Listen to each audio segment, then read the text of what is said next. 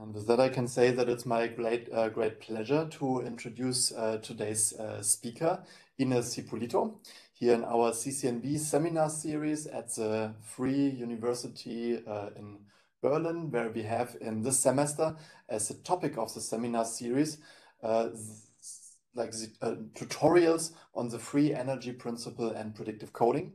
And um, some, what was it, half a year ago, uh, Inês Hipólito was also organizing here a big workshop that probably many people have attended uh, on the free energy principle here in Berlin over the Berlin School of Mind and Brain. Uh, so Inês um, is affiliated to the UCL uh, in London. Uh, she is also a fellow at the developmental psychology at the faculty of the behavioral science uh, faculty at the University of Amsterdam and is here in Berlin as lecturer at the Mind and Brain School, um, which belongs uh, to Humboldt University and is dealing in her work, uh, as I understand it, mostly with free energy principle uh, uh in the context of interpreting the mind's function. We had multiple uh, talks here in this series before, uh, which were introducing mostly technical aspects of free energy principle and computations within that. Um, we are very much looking forward uh, to uh, your talk today. And uh, with this, I think I directly hand over. Nice to have you. Thank you so much, Timo, and thank you so much for inviting me, um, joining these wonderful um, speakers that you've been having in this really great initiative group on the free energy principle in in Berlin. Um, thanks um, so much for the very kind introduction. I am going to now try to share my slides. Hopefully uh, there won't be anything grant access in systems preferences. Yes, I think that's fine. Yeah, so the title of my talk is the Energy Principle on the Edge of Chaos. I would like to just preface it uh, by saying that um, that uh, it is a little bit of a talk on um, the uh, sorry on the the philosophy of science of the free energy principle, and that's sort of like speaking to and relating to uh, the most recent uh, events um, on that have been happening on the last year. So if you could just give me the next slide.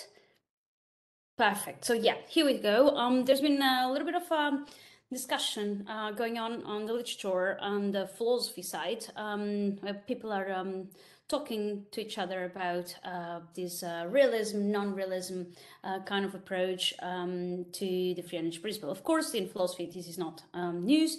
Um, it is a very uh, uh, live discussion in philosophy of science in general about theories, models, um, uh, etc. in in science, in scientific practice. And more recently, this uh, debate has been revived in the light of the free energy principle. And that's what I wanted to talk about um, today. So if you go to the next slide.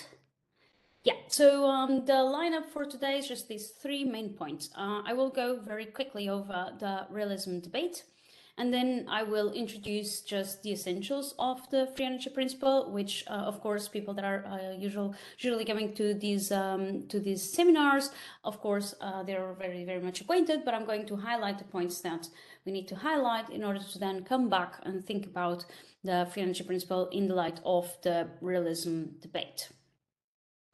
Okay, so um, next slide. Yes, so we go now to the realism debate, and uh, nobody would be happy with this uh, definition that I have here because uh, the realism debate is so nuanced uh, philosophically speaking, that it will be, it is very difficult to come up with a definition that will make everybody happy. But let's try. Um, so we can say about realism, I'll try to define it as uh, the properties of a model are expected as somewhat an ontological property of the phenomenon of scientific interest. So you should find some kind of isomorphism, some kind of match between the properties of the model and the properties of uh, the phenomenon under study. The next slide. So, for example, the property of study is, as uh, we are here, uh, precisely to study all of that, things that we love, the brain, cognition, or even um, cell activity. Next slide. Yes, so basically now there are three, or um, I was thinking about how, how can we uh, put this together. The literature is so vast And so integrated. I was thinking, okay, let's try to put together at least three main groups or three main ways that we can think of uh, the realism. So the first one is uh, the sort of like the more traditional one, which is thinking about under realism, thinking about models as accurate representations, right? And this comes, for example, from uh, Gottlob Frege in Sense and Reference. Next slide. Yeah, um, so the second one is um, a little bit more complex, uh, but it's sort of like what we have, um, we find a lot in uh, cognitive science or cognitive neuroscience, which is uh, the idea that if models are abstractions and if they succeed to predict, then the properties of the model should be literally present in the system being modeled. It was was there a question? Oh, I thought I had um, a microphone. Okay. Uh, so you find, for example, that in uh, particularly uh, very explicitly in uh, this paper by Michael Rescorla defending a realist perspective on Bayesian cognitive science. Next slide. The third way of being realist um, in scientific practice is to claim um, that claims made about the system of interest, of scientific interest, interest by truth preservation can also apply to the system itself, in which case a target system is held to the properties of the model. So this is found, for example, in um, these uh, two papers that I have here, which are very recent in the literature on the free energy principle and active inference. So that would be one way to connect or think about models made under active inference or free energy principle uh, that also hold a realist perspective um, on, on the target system explained under the free energy or active inference. Next slide. Oh yeah, so then um, what happens is, to put it in a little bit more of a simpler way, is that the mappings between the model and the target, so the mappings between the model and the target allow to convert truths found in the model into claims about the target system. So that's the very, very basic idea um, that is being held in the this third uh, realist um, assumption. And then we have the converse or the counterpart, anti-realism, uh, and roughly the definition uh, goes something like this. The model is simply an instrumental tool that once applied to some activity of scientific interest, then the model allows to learn about and draw predictions about a system of scientific interest. So the main um, gist is that as opposed to having an accurate match or isomorphism by virtue of this or that um, way of thinking or arguing for it, um, the model is simply an instrumental tool that is an opportunity for learning. Next slide, I think. Oh, yeah. However, the system under study does not need to have the properties of the model, as of course it is uh, argued for uh, in the realist take on it, right? So that's why live debate going on. Next slide. Okay, so now also a, couple of ways of uh, being anti-realist, right? So the first one is the meaningless way of thinking about models. Models are in themselves meaningless. Uh, they do not hold semantic value other than that that is constructed under or by using them to understand or predict behavior. And this was, uh, for example, held by uh, David Hilbert or um, Bas van Fraassen.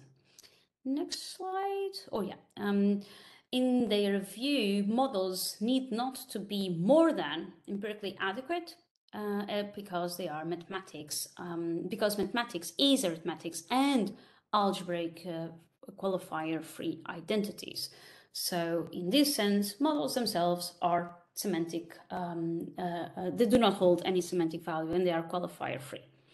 Yep, next slide. Okay. Then, uh, very much in agreement with um, with uh, David Hilbert and uh, Bas van is Albert Einstein in this amazing lecture that he gave in Berlin in 1921. If you hadn't had the opportunity to read it, please do so.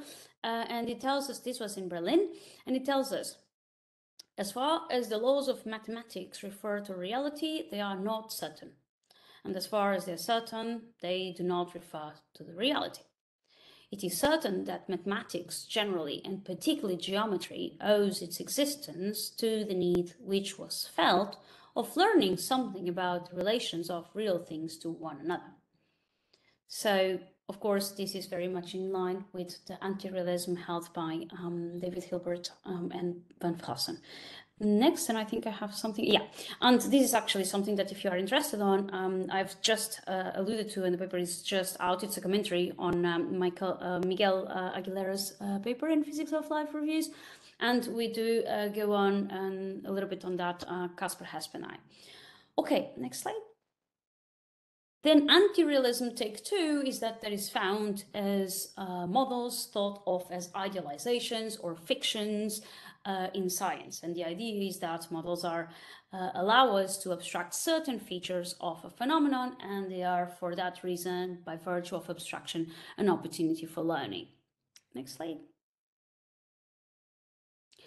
Then take three on anti-realism uh, is the view that the success of a model justifies the acceptance of the epistemic value of the model without necessarily making ontological claims. So basically what we are saying is that um, the, the virtue of the model resides in its epistemic value and not in its ontological commitments or ontological commitments that one would make by virtue of using a model.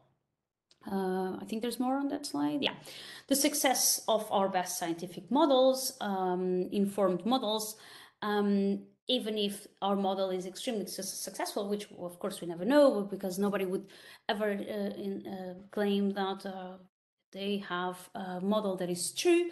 Uh, in the best case scenario, we would claim that we have a model that is viable. So even if we have a very viable model, that does not, according to this uh, view and anti-realist uh, view, that does not allow us to um, hold um, a belief that everything in the model is true.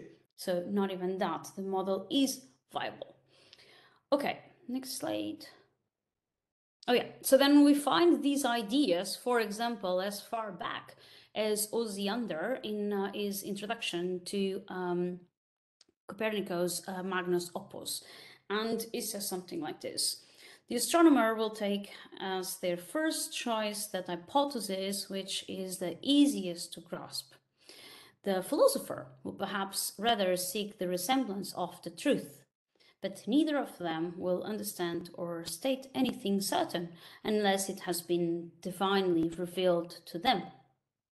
Now, since one cannot in any way attain the true causes, one will adopt whatever suppositions enable the motions to be computed correctly. Okay, so this is take uh, three. Um, the models are, it's about the viability of the models rather than the truthiness of the models.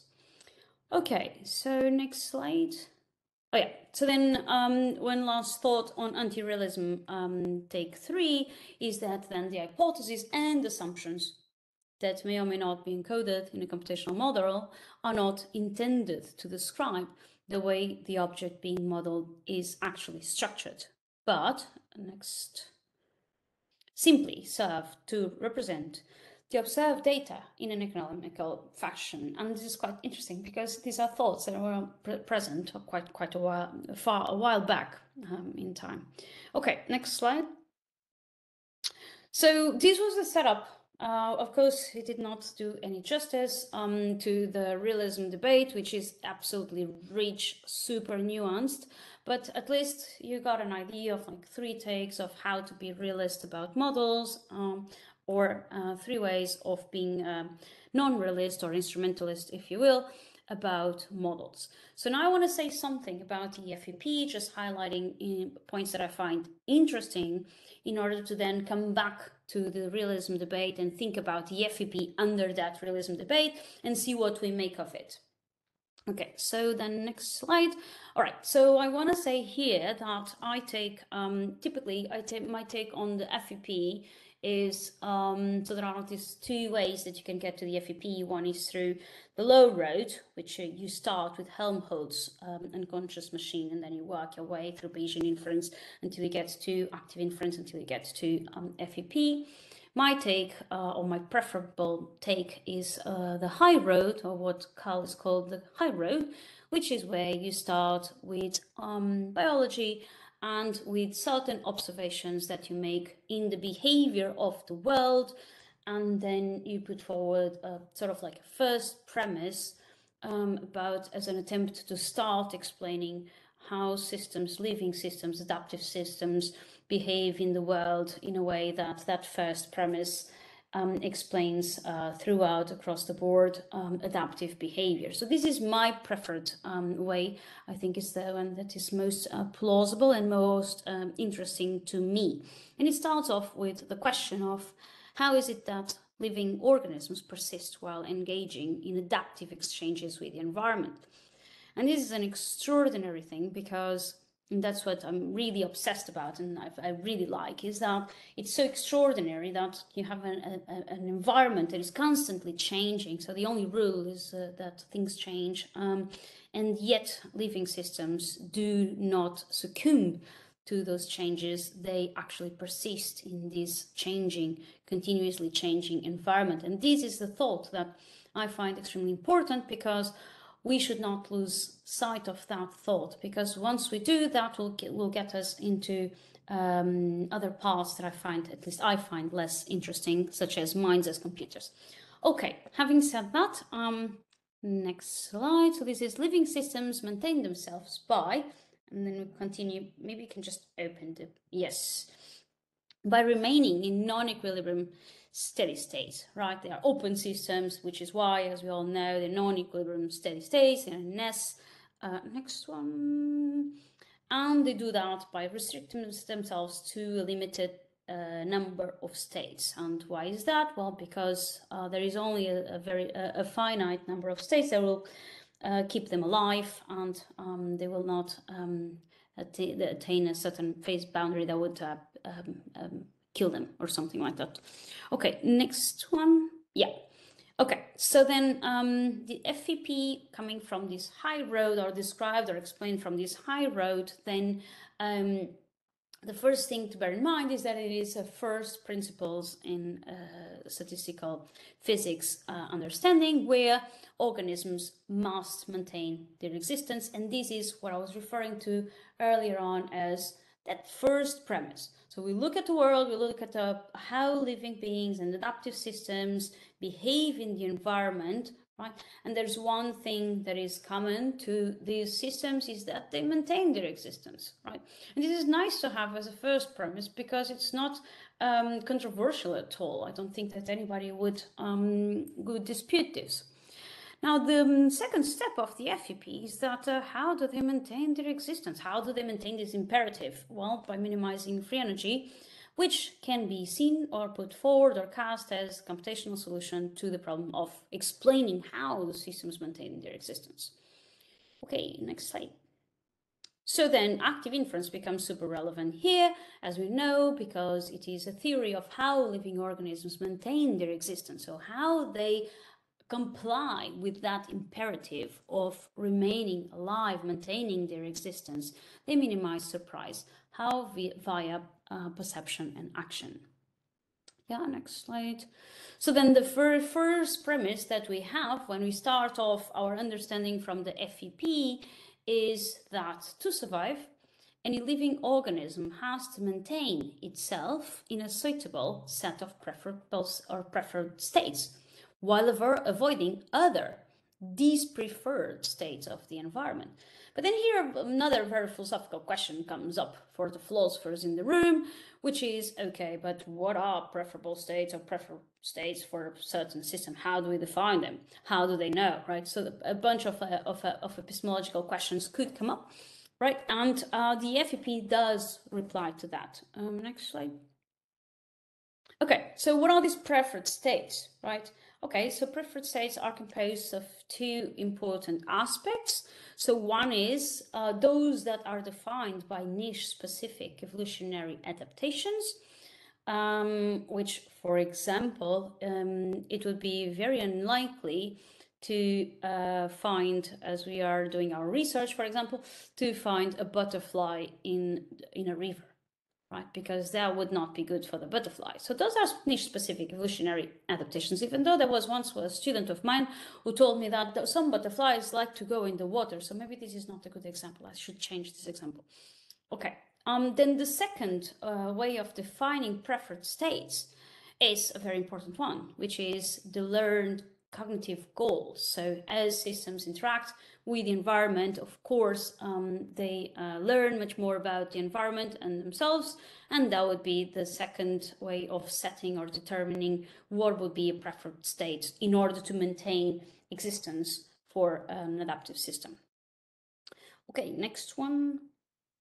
So in order to survive, a fish for example, has to stay in a comfort zone that corresponds to a small subset of all the possible states in the universe. It has to stay in water, for example.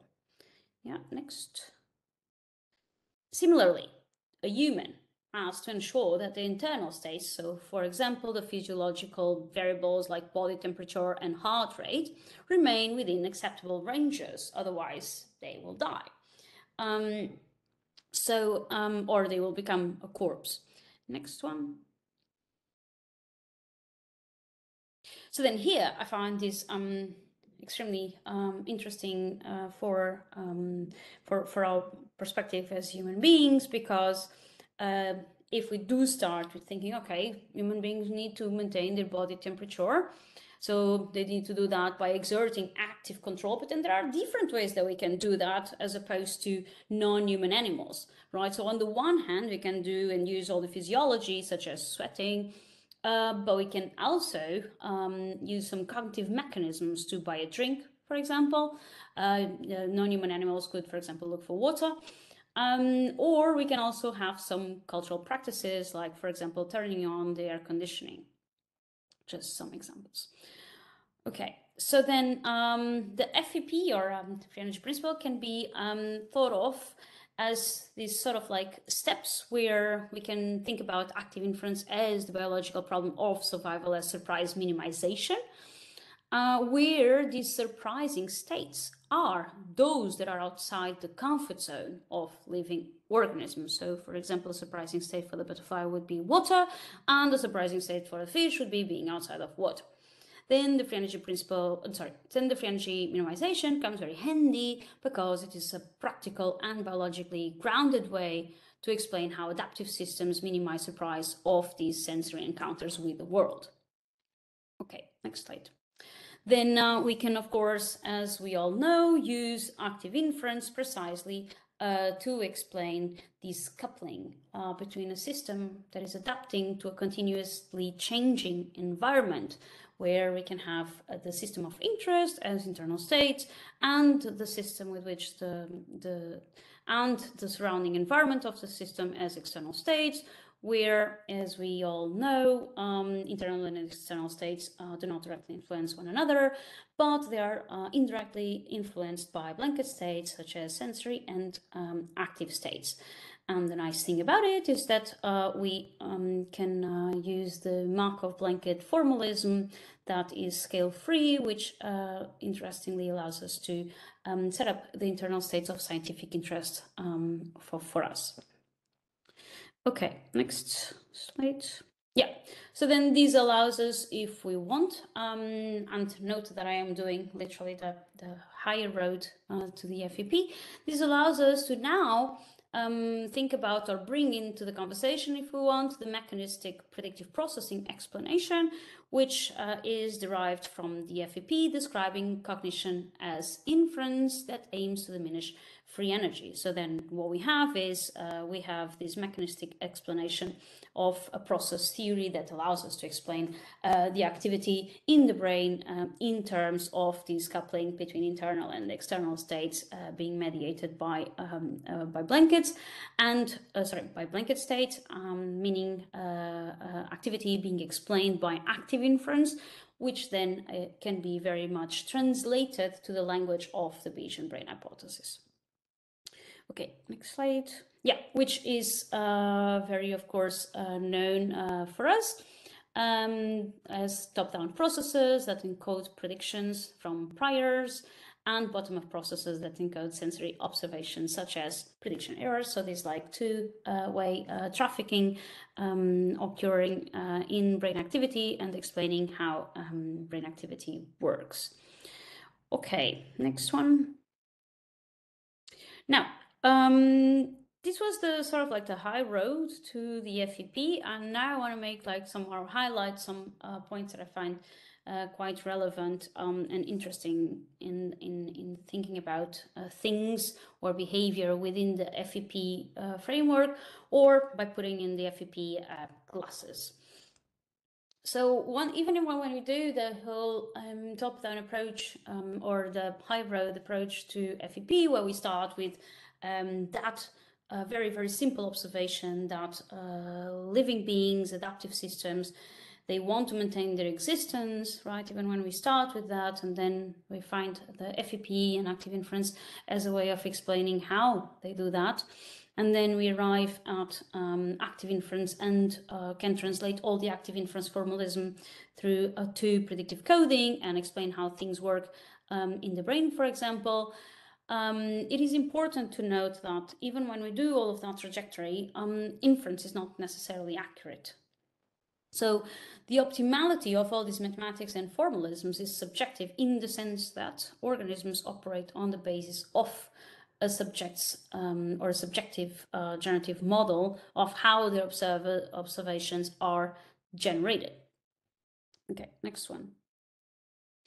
So I find this picture in the Active Inference book by Pezzulo and, and Thomas Parr and Carl um, very, very uh, interesting and useful to precisely uh, convey the point I want to make about the generative model that I feel that sometimes um, we just don't um, don't see exactly um, how it uh, really works or, or his, his role is.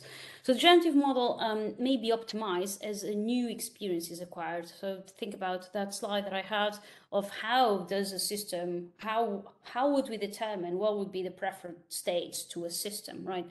So it's precisely through a generative model that allows us to optimize um, a, a model as new experience or new knowledge is acquired right? So then we have, um, for example, this picture here where you see the difference between a generative model and a generative process.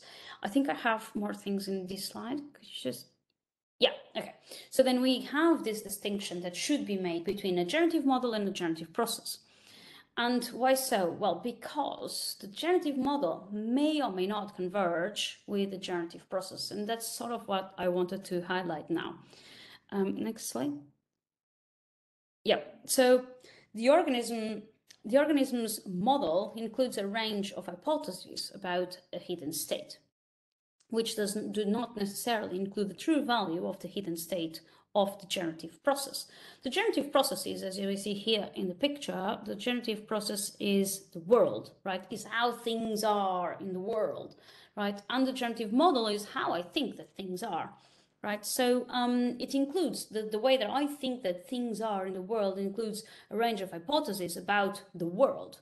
But those hypotheses do not necessarily include the true value of the world, of the generative process, right? Um, there's some other, many, much, other, yeah. So the models we use to explain our sensorium may include hidden states that do not exist in the outside world and vice versa, right? So in short, what this means is that there does not necessarily need to be an isomorphic match between the generative process and the generative model, right? So that's the, the, the gist here. Next slide. So this is where action becomes extremely interesting and extremely relevant because action is what is in the middle between generative model and generative process right? So that's where we get active inference, um, and what I, at least I think uh, is the the most interesting thing in active inference framework, as opposed to other um, com competing um, explanations or frameworks. So because action is generated on the basis of the inferences made under a generative model, right? But we just said that the generative model does not necessarily include the true states of affairs of the generative process. But notably, action is generated on the basis of the inferences made under a generative model. Next, yeah. So action is part of the generative process in the sense of uh, it is through action that we make changes in the world. So action is really that interesting thing that is between the generative model and the generative process. Action is generated under the generative model, which does not necessarily match isomorphically with the generative process and yet action is what is influencing the generative process. Action is what is influencing the world. Okay, so the, the, the interesting point here is that despite action being selected from uh, the inferences drawn under a model that is not necessarily accurate as we said, it is, action, it is this action that is going to affect the generative process. Okay, next one. So action can be formulated as the minimization of the discrepancy between the generative model and the generative process. So it is not only that thing that is sitting in the middle between generative model and generative process, but it is actually what um, can be used and is used to uh, minimize the discrepancy between generative model and generative process. Uh, next one. So this is these were the points that I uh, wanted to make on the FEP, and now I want to get us back to think about the FEP and the realism debate and see whether there are some uh, interesting points or things to consider and think about. Next slide. Okay, so let's think about the free energy principle under the realism debate, and let's think about the free energy principle under the option one of realism, where the idea was, um, so, so, so to say in the definition, was that models are accurate representations. Okay, so if we think about um, the FEP and the realism debate of the first option, then we would have to say that generative models are inaccurate representations because they do not necessarily hold accuracy about uh, the generative process. So we could say that, okay, so then the generative models uh, constructed under the, the, FEP, they are realistic representations with uh, some kind of form of minimal form of realism, some minimal form of structuralism and similarity. We could say, well, they are generative models are representations of generative processes, they're just not accurate. They're inaccurate representations and they work. So that could be one way um, to do that.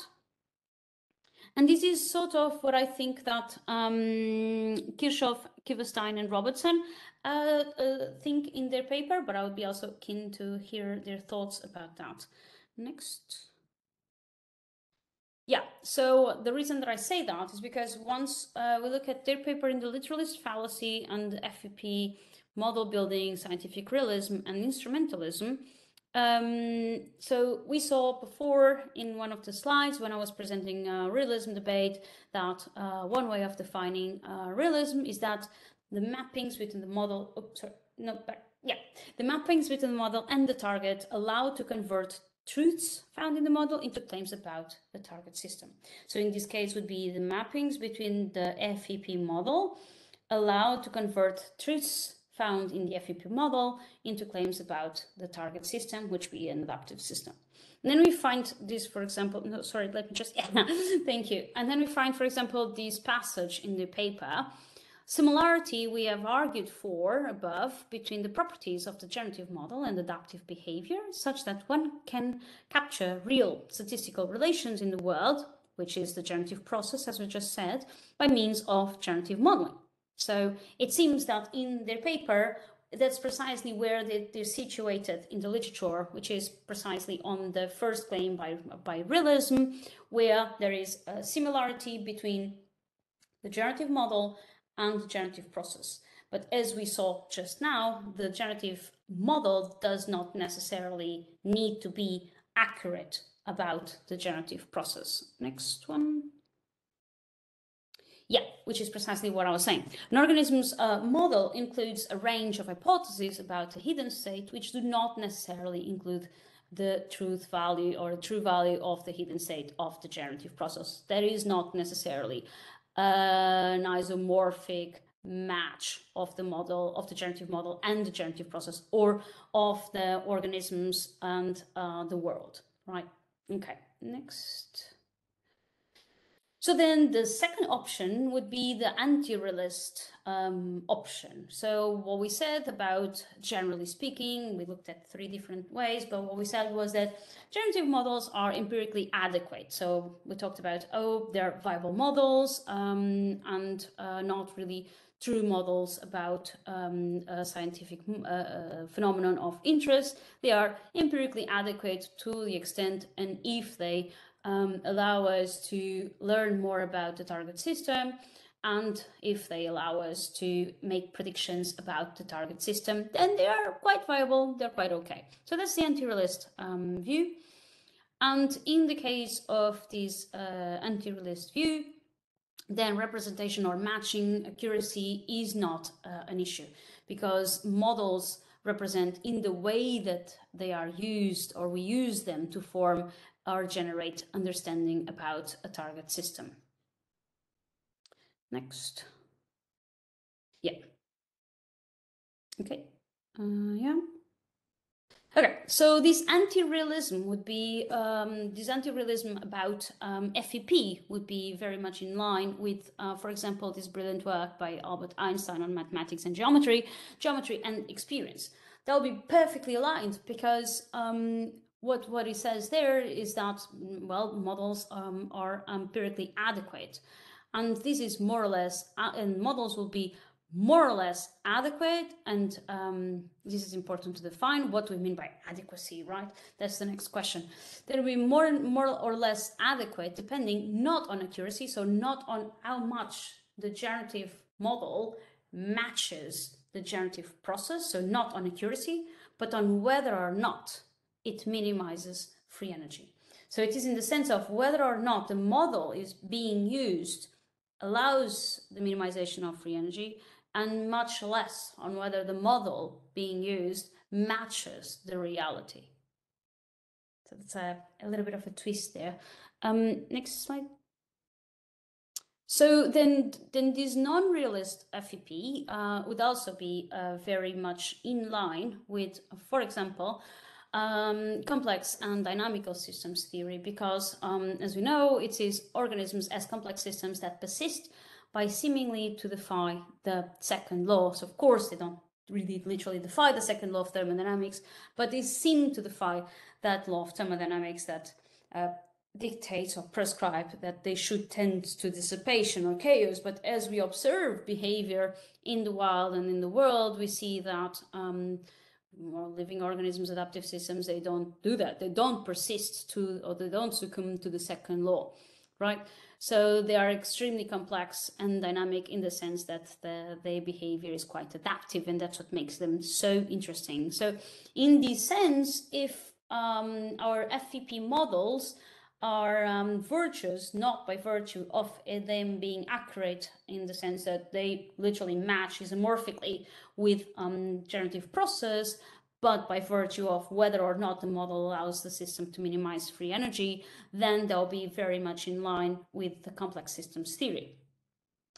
It would also be, I believe, uh, in line with enactivism uh, theory, which I'm not sure if everyone um, in the room is acquainted with, but um, it's without, there's been some some attempts to make these links between the FEP and, and activism. And um, I think that uh, given other work that I've done um, in the past, um, I think that the only viable way of really making this bridge um, um logically sound is through a non-realist FEP. Uh, a realist FEP uh, is, is much more harder to argue for um, uh, in their bridge or connection with enactivism. So, but, the, but, I'm sure that more most of us are acquainted with it. Um, enactivism states that uh, uh, living beings enact the world to adjust and adapt biologically, cognitively, and culturally um, to the world. Okay, um, next slide. Yeah, so then this is uh, very much um, it. We've, we've covered now the three points I wanted to talk about. Uh, next slide. And I just want to conclude by, by sort of like laying out what the options are for us in this particular uh, debate that has become very lively debate in the last one year or so. So when we start from the high road, and this is important to convey, it's not starting from the low road, it's starting from the high road. So when we start from the high road to the FEP, so when we start from the observation of how biological systems, adaptive systems behave, um, and then we have uh, two uh, philosophy of science options, which is how do we model these systems and how to think the models by which we explain living adaptive behavior. Okay, so we can take the realist take on it, on our models, and say, well, um, there is realistic representations. Our models literally match um, isomorphically uh, by different uh, philosophical strategies or arguments, they literally match uh, the behavior that we observe. And by the same reasoning, we can also say that the organisms behaving in the wild, they also behave and adapt by virtue of possessing models that literally match the world around them. So that's one option. The other option is the anti-realist option, which is to say that um, the models that we as scientists have, the FEP models, as well as the models that we as uh, living beings have, um, they allow us to uh, interact with the environment, understand the environment because they are empirically adequate, not because they uh, accurately represent uh, the generative process. So these are the two options uh, that I just wanted to highlight today. I think this is my last slide. Yeah.